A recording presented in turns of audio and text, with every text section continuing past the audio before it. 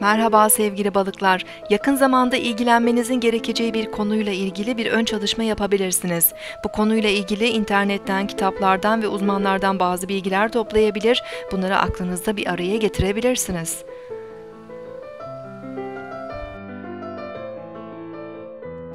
Bugün 31 Ağustos 2014 Pazar, Güneş günündeyiz. Ay gün boyu Akrep Burcu'nda ilerleyecek.